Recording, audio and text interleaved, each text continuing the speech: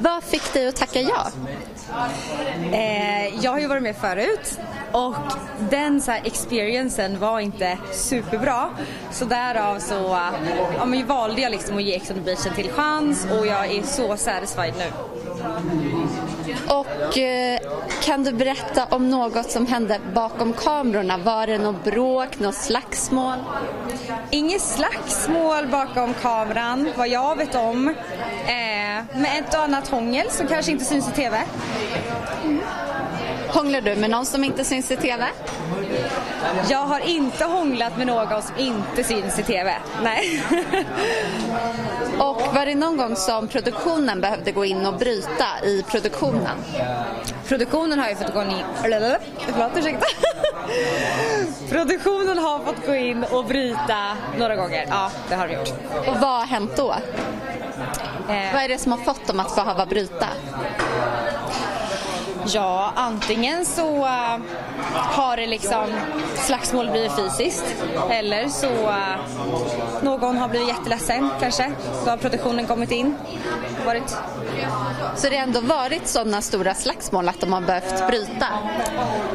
Alltså jag tror ta med tusan inte att slagsmål med knytnävar har skett. Eh, men däremot, eh, ja, men någon typ av våld, typ så här att eh, någon slänger ett glas på någon annan eller att eh, någon puttar en annan. Ja, men att det har blivit fysiskt, ja, det har hänt. och eh, du har ju även varit tillsammans med Robin eh, och det tog ju slut. Varför tog det slut mellan er? Oj, jag och Robin vi träffade varandra i Ex förra gången. Eh, det tog slut för att, eh, ja herregud, alltså vi är så jävla, vi var väldigt destruktiva med varandra.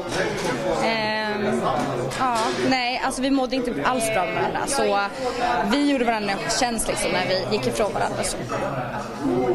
Och hur känns det att bo i Stockholm igen? För du har ju flyttat till Stockholm efter det va? Ja, eh, det känns eh, bra att flytta till Stockholm igen. Alltså jag bodde i Umeå i typ så här, det känns så länge men det var egentligen bara fyra månader. Så så skönt att vara tillbaka. Nej men typ. Umeå var inte för dig? Nej. Alltså Umeå är en jättefin stad men det är här i Stockholm som jag är hemma.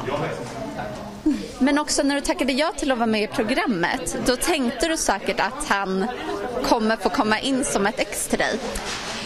Eh, ja, alltså nerverna fanns ju där att Robin skulle komma in. Däremot så har jag och Robin en väldigt bra relation idag liksom. Så det hade, ja, det hade inte gjort och det gör ingenting om man kommer in.